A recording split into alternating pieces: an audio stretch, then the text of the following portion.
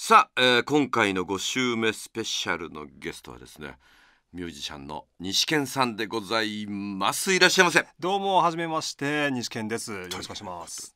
前回の5週目スペシャル宇都宮隆さんに続いては、はい。宇都さんつながりですけどね言っとくけどそうですね。ある意味ね。はいそうですね、うん。その西健さんにはいよろしくお願いします。いただきましたということで実ははい。あの西健とは長いんですよ。そうなんです。なんだかんだ長いんですよ。なんだかんだ長いんですよね。本当に、もうえーだえーっとうん。まあまあ一応宇都宮隆ソロツアー、はい。あのーライブうつばそれ受け歌謡曲では5年、5年ですね。5年ですよ,、ね、五年ですよ一緒にツアーを回って5年、はい。だけどその前からもずっとつながりがありまして。そうなんですよね実は。最初は何な一番最初は、の、うん僕東京に上京してきた時にそっから始まるの話。いや僕の中で、はいはい。音楽の僕のこの音楽人生の中で、はい。本当に最も出会ったのが早いのが野村義雄さんだったりするんですよ、おマジですか？実は。それはなんでかというとなんでなんでだ？僕ね、はい。義雄さんの事務所にいたんですよ。はい存じておりますけど でもそのいた時にははい。意識はしてないから、そうですよね、でうん。僕はもう一方的にもちろんそれは意識しますよ。その時僕のことは知ってた？もちろんですよ。当たり前じゃないですか。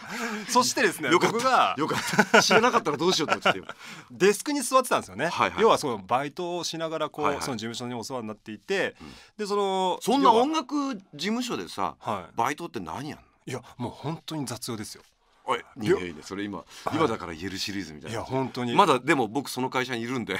そうですよね、ええい。や本当に。だからそのね吉尾さんのマネージャーさんとかもずっとその時からお世話になったりとか、隣の席だったって言ってたもそうなんですよ。んね。僕がそのねいろいろこう教えてもらったのは本当に吉尾さんのマネージャーさんにずっと教えてもらったり、ほう。いろんなこといろんなところに連れてってもらったりとかして、うんうんうんまあ音楽スタジオこういうとこあるよとか、はいは例えばこういうふうにこう音楽制作は進んでいくんだよとかこう1年ぐらい経った時に、うん初めてこう吉尾さんがやっていたミキアモーターいミキアの裏モーターズはい。はい。ノー裏モーターズバンド。確か渋谷エッグマンだったと思うんですけど、うん。そこに僕手伝いに行ったんですよ。本当？はい、ええ。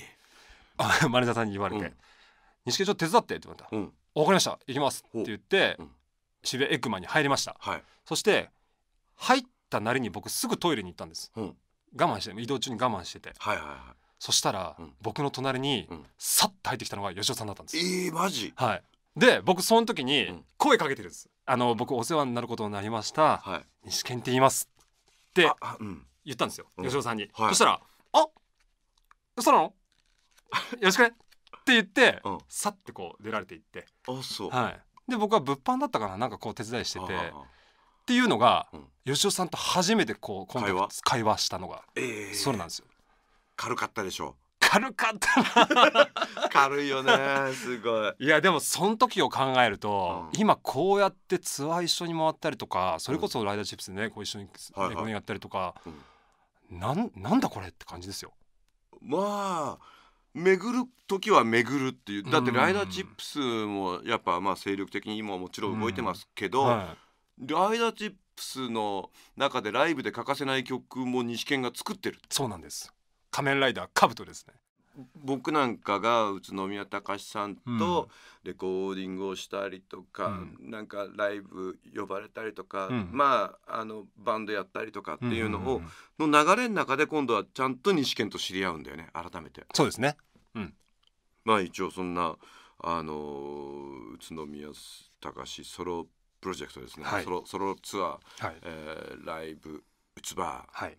えー今年もいっぱい行きましたねいや本当にいっぱい行きましたね。はいもういよいよツアーは地方公演終わりましたけど。終わりましたけど、はいもうあ今年22公演ですからねそうですよね。旅は面白いからねいや本当に面白いですよね。うん何なんですかね？なんなんでしょうね本当うに、んやっぱこう場所が変わるとこう視覚的にも新鮮になるじゃないですか。うんライブ会場によって。あとさうんあのこの前のねあのもううつうつばとかもそう、うつばのツアーとかもそうでしたけど、いっぱい地方に行くと僕は予知散歩をしたくなるんですよ。はいはいはいはいええ。その例えばリハーサルまでの時間だったり、はい。はい。それそこがじゃあ 2days だった場合、うん。その1日目が終わって次の日の朝うん。から街を探索するとはいはいはいかってい。ううん。のがすごい好きで、うん。お店屋さん見たり街並みを見たりっていう、うん。でそれとかあの前乗りだったりするとはい入って夜ご飯はみんなで食べようねはいはいはいはい一応ほら旅しているうん。ツアーのメンバー、スタッはいフたちとみんなでご飯を食べて、いろんなこう情報交換し合って、明日からまた頑張ろうねみたいなライブ、うん。その現場自体に僕すっごいあの大好きなそういう一丸となれる現場なんですけど、はい。でもそのご飯の時間までにうん。空いてると散歩するんですよ、してますね。その散歩に付き合ってくれるのが西県なんですよ。そうなんです。同行しております。ええ、ではい。失敗したのが去年すごい忘れもしない札幌。あ札幌。はい去はいはい、はい、年の札幌ね、はい。ウツバーのツアーの札幌ではい前乗りでした。前乗りでした。ね。はい。前乗りでした。えっ、と着いたのが4時とか5時ぐらいだと思うの。確かに夕方。ではい。でご飯はスタッフメンバー、はい。7時にあの集合してご飯行くよ、はい。わかりました。じゃあそれまでフリータイム。はい。案の定僕は、えー散歩に行きます、はい。そうすると、はい。西県何してんの、はい。あ一緒に行きます、はい。みたいな。で2人で散歩する、はい。でたぬき工事歩く。歩く。あなんかあれなんだろう、あはい。うまそうだね、はい。ちょっと食べてみようよ、はい。でずっと行く、はい。そしたら公園のところではい。ちょっと日本酒フェスやってた、やってましたね海の幸と日本酒フェス、いや本当ですよね、うん。あれ良かったですよね。よかったよ。かはった、ねちうん。ょちょい飲みしながらのあのいろんな海の幸を食べるみたいな、はい。そういうやや屋台いはいはいはい。な感じなんだけど、はどうする？ちょっと中覗いてみようよみたいな。いそうですよね。まあねちょっとね。ね。うん。何があるのかななんてはいちょっとこう、あホタテ300円みたいななんか。はいしかもでかいえなお前みたいな。嘘！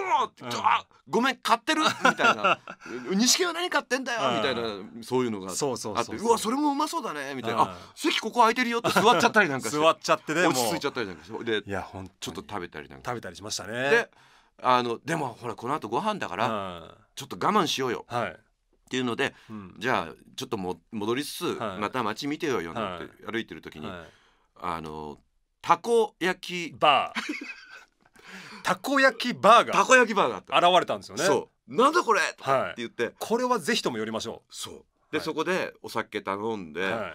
たこ焼きそれぞれがまた頼んで。そうそうそうそう。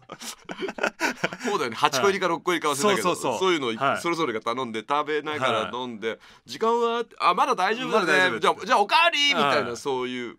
結構がっちりいきましたよね。褒めて 意外と僕らは満足だったんだよ。そうなんですよ。うん。その後7時からの食事もういいですよそう。ねぐらいの勢いでしたもんね、うん。とはいえ、はい。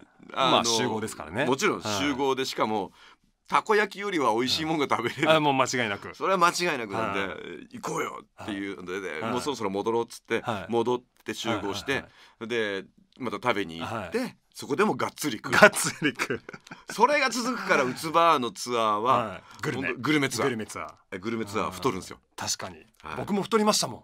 絶対太るでしょ？いや本当に太りました、そうなんですよ、うん。まあでもまあまあ、幸せなことですそうよねすごいせ、幸せな、そそんな旅のはい。お話でございます、はい。ライブうつバー、はいえーそれゆけ歌謡曲も終わってしまいまして、はい。えーツアーの方も終わってしまったんで多分来年あたりにまた、うん。あの一緒にまた旅回れたらななんてそうですね。気持ちはありますけどその間にはい。多分、ま、なんだかんだライダーチップスの今のレコーディング系は大抵今西健がはい。あのアレンジしてたりとかキーボードアレンジしてたりとか、はい。そういうことや関わってくれてるんで、はい。まあ会うことは全然僕らはあるんですけど、はい。なんだかんだ忙しいんで、えーこの後はだからもう宇津さんの方で、はい。ね9月から宇都宮高しツアー、はい。2019、はい。ドラゴンザカーニバルはい。に参加とはい。